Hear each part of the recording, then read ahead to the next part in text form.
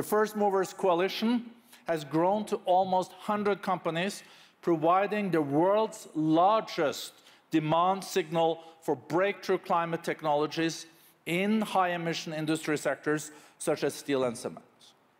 And the World Economic Forum's Trillion Trees platform, that I know many of you are very committed to, announced over 100 companies pledging to conserve, restore, and grow 12 billion trees.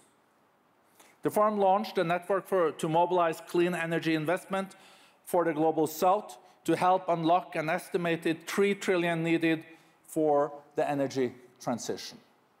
The Global Plastic Action Partnership welcomed Colombia and the Philippines, bringing the network of national action partnerships to 14. Technology, and particularly AI, was top of mind, and participants proposed balancing innovation and protection to ensure responsible development. The AI Governance Alliance announced a new global effort to increase AI access. The Center for the Fourth Industrial Revolution that we have created expanded with new centers in Germany, Vietnam, and Qatar, and intends, amongst others, to launch also now a center in Ukraine, in Kiev.